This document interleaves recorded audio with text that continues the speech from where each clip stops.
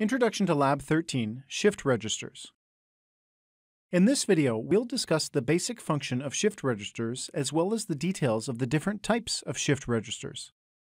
Shift registers are circuits that store and move data.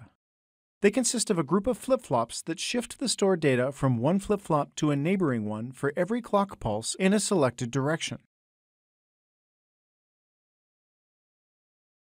A shift register that moves data in one direction is known as a unidimensional shift register. There are four types of shift registers. Serial in, parallel out shift registers load serial data into the register one bit at a time and output all the data bits in one grouping parallel to each other simultaneously. Parallel in, parallel out shift registers receive all the bits of data in a grouping simultaneously and output all bits of data from that grouping simultaneously. Parallel in, serial out shift registers receive all bits of data in a group simultaneously but output the data one bit at a time. Serial in, serial out shift registers receive and output data one bit at a time in a single direction.